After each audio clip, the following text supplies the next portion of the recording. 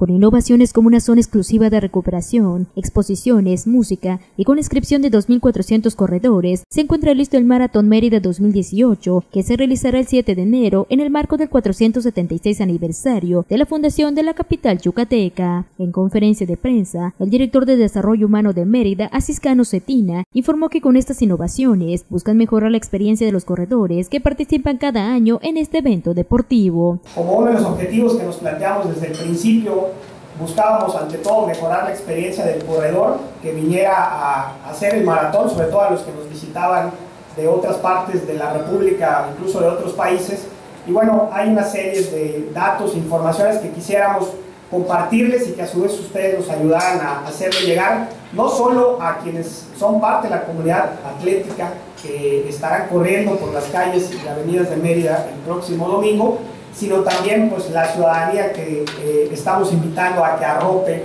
este evento. Asimismo, se contará con una zona de convivencia con los patrocinadores, tómbola para los participantes, ocho batucadas en diferentes puntos del recorrido, tríos, shows cómicos, orquesta sinfónica infantil y una expo deportiva en el Centro de Convenciones Yucatán Siglo XXI el sábado 6 de enero, donde se entregará el kit a los deportistas de 9 de la mañana a 5 de la tarde. En su turno, Irvan Martínez Zapata, presidente del comité organizador, detalló que las carreras de 42, 21 y 10 kilómetros, así como la caminata de 3 kilómetros, arrancarán a las 6.30 de la mañana y tendrá salida y meta del Monumento a la Patria. Anunciaron que a partir del viernes se dará a conocer por las redes sociales los cambios de paraderos del transporte público, al igual que del cierre de calles y rutas alternas. Con imágenes de Daniel Ken e información de Merly Gómez, Notivisión.